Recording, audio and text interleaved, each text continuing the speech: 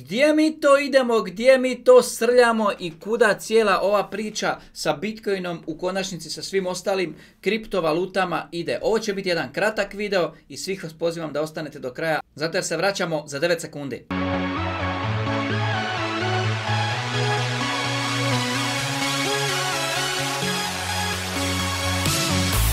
Veliki pozdrav svima, dobrodošli na kanal Kripto Teme, drago mi da ste ovdje i drago mi da znate da ništa ovdje nije savjet, već isključivo moje vlastito mišljenje. Vi za sebe morate sami donositi vaše vlastite odluke. Danas ćemo pogledati nešto jako zanimljivo, danas ćemo pokušati utvrditi gdje se mi to nalazimo i gdje mi to idemo. Prije toga ću vas samo pozvati 7.9. Znam da mnogi od vas planiraju, vi koji možda niste znali čisto da znate, 7.9. se vidimo u Zadru. Ako pratite kriptovalute, kripto teme, ako vas zanima cijeli taj svijet, ako želite upoznati kripto zajednicu, družiti se sa kripto zajednicom, biti sa svima nama na jednom velikom druženju, na jednom velikom partiju. Svi ste dobrodošli i moj poziv svima vama. Nabavite si ulaznice na vrijeme, link vam je u opisu ovog videa. Imamo koncert iznenađenja. Brzo će proletiti ovih par tjedana da se vidimo, tako da eto, s tim sam htio krenuti i drago mi je da vas mogu pozvati. Ovako, idemo se baviti sada sa ovom temom, idemo se baviti sa nikad ozbiljnijom temom, u nikad važnijem trenutku za kripto, za bitcoin, za svih nas koji smo marljivo, strpljivo, marljivo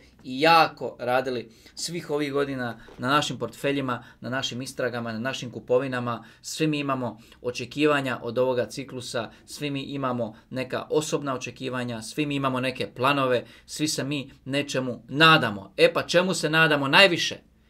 Čemu se nadamo najviše? Ja vjerujem da je to upravo ovo.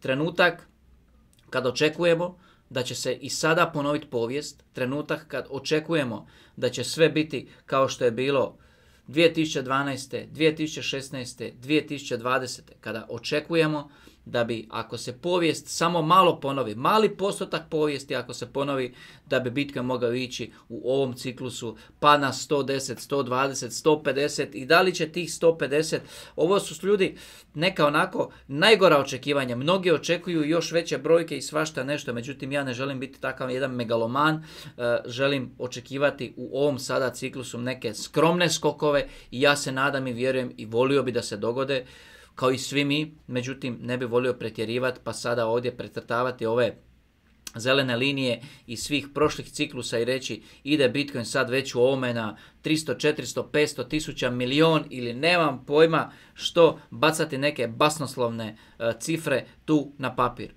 Koja su moja nadanja? Znate, 100, 150. Da li će to biti dovoljno da pokrene altove? Da li će to biti dovoljno da pokrene eksploziju?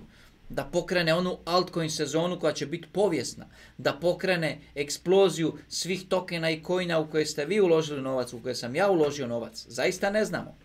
Treba pričekati. Ali da smo u dobroj poziciji, da smo u dobroj situaciji u marketu, osobno i čvrsto vjerujem da jesmo. A sada da li će nas demantirati, pa da će otići sve u suprotnom pravcu, zaista ne znam. Ne znam. Vas mogu pozvati da pogledate nove shorts videa tu na kanalu, da se vidimo u Zadru 7.9. svi zajedno na velikom druženju i da pogledate vijesti na, na našem portalu kriptoteme.io. Vidimo se uskoro.